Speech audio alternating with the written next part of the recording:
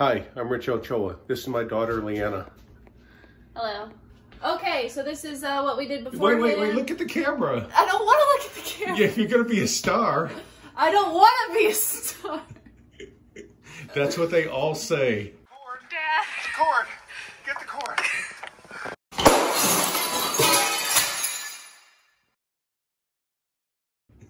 So we dry fitted this beforehand to make sure we had the proper size tiles, spacers, etc. And we're gonna move left to right here and just do a very nice kitchen backsplash.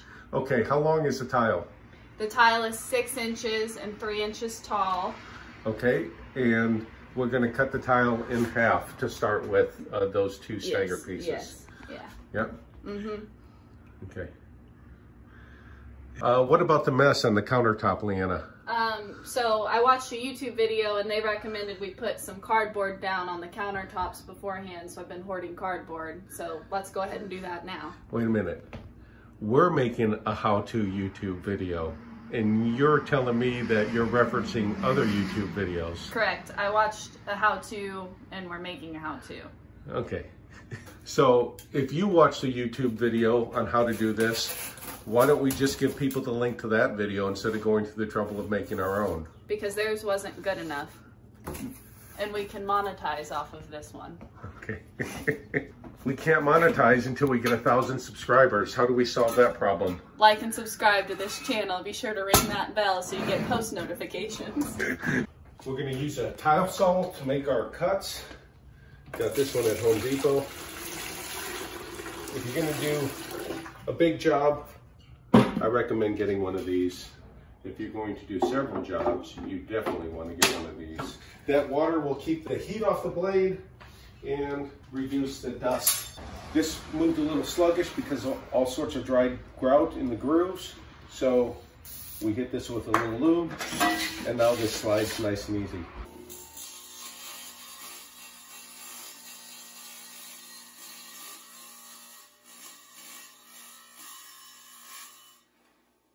So the finished side, of course, is going to go out to give you a nice finished look. Okay, Leanna, I'll need a, a drill bits. Here they are. No, they aren't. Okay. Here they are. Better. And Yeah, in first. Okay, now pull. Just pull the thing. okay, good.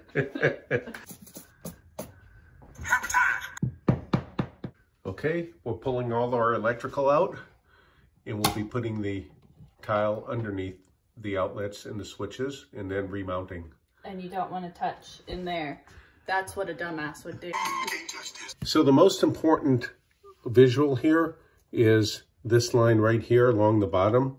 It's most visual to people who are in your kitchen. It's not quite as important to get this upper line exact. So we're gonna start at the bottom where we can control it. And then instead of trying to fight everything to be exactly square, if there's a little bit of variance at the top, no problem. People generally don't see this because it's tucked underneath the cabinets. Yeah. Okay, start spreading it on the wall.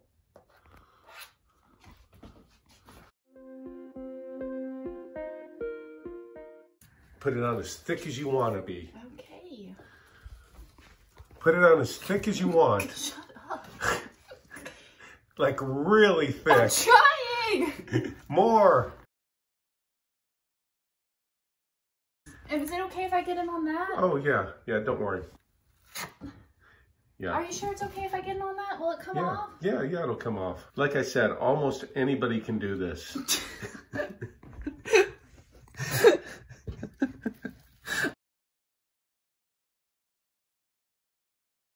Notice how my assistant is loading it up on the side and then working the way down from the side that she loaded it on. And now she's not doing that anymore. Good, Leanna. Right now, we're just trying to get a coat on the wall. We'll go about maybe three feet out, and then we'll work with that.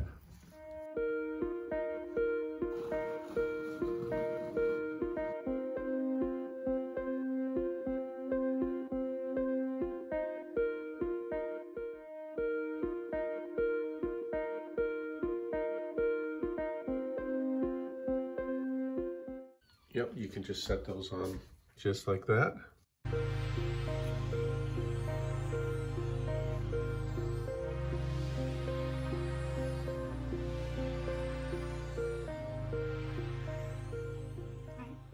Is it perfectly aligned to the tape? Yep. Okay, ready for the half one? Factory side That's right. out. Okay, try to look at the camera while you're doing this. you got the spacers in there? I got one. Do I need two for this little guy? Yeah, yeah, put the other spacer flat. Yep. That looks perfect. Let's go. You're not getting paid by I the need, hour. I need more spacers.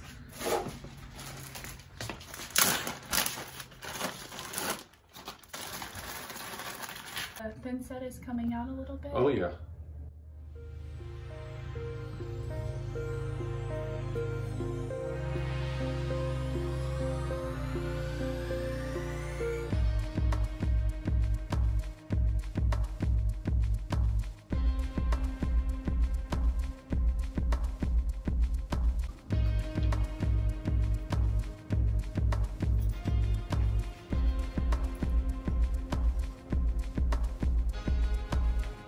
How's it going, Leanna? It's going well. How does it look? It looks fantastic. Okay, so we have a piece that's gonna go right here, and I need to make a cut here, a cut here, and a cut right here. I'm going to use a little saw finesse. I'm gonna sit this tile on the table, and I'm gonna hold it really tight.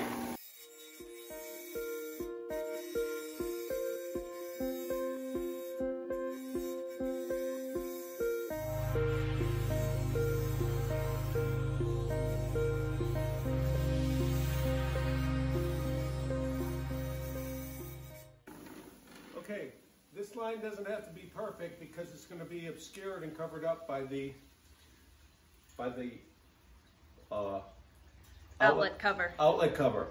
Thank you. Action.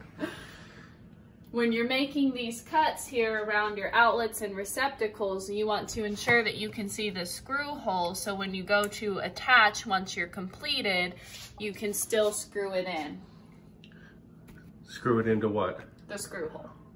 Leanna, Yeah, did you want to show the mashed potato method? Leanna, yeah. did you want to show the mashed potato method? You need more grout. Don't even worry about putting it on this. It's not grout. Whatever. Thin set. Whatever. Thin set. Whatever. Thin set. Well, that's a little much. That's better. Rolling. Okay, we did this, and then we did this, and then we moved over here and did this, and then we did the corner, and then from the corner we moved over here, and then we kept working all the way to this side, and now it's done, okay? Okay, we're pushing the grout into the seams now. You see we're using a darker grout, a charcoal gray, and we've done this section above the stove already. That's the finished look that we're going for. My assistant Leanna is working on this side, pressing the grout into the seams. And I've worked this side right here. You use a float tool to press the grout in.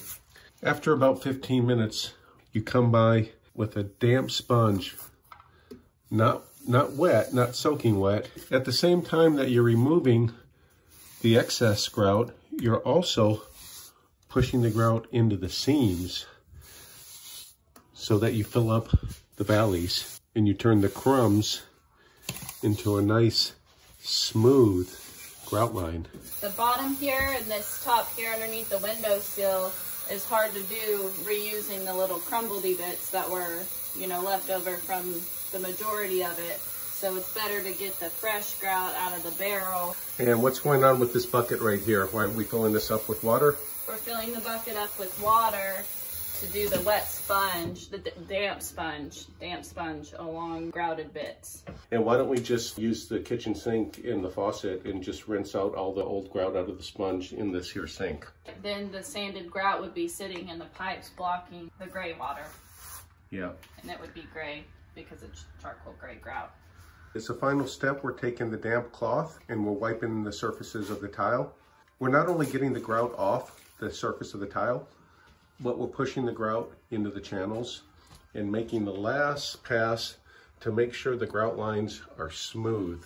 You don't have crumbs and bumps in those grout lines. Now is your last chance to discover and remedy the high thin set that may be poking through the grout lines. If you discover white bumps in your grout, that's probably the thin set from underneath where it's setting high. You take a needle nose pliers and you pop those little bumps out, making sure you don't electrocute yourself. And then you push new grout in and then you go back over with your wet cloth.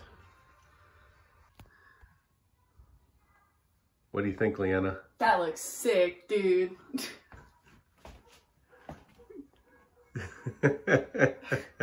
what else does it look?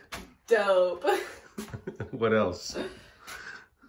I don't know. I don't know any other youth phrases. Okay, Leanna's pulling the masking tape off. How does it look, Leanna? that looks sick, dog. As sweet as Caroline.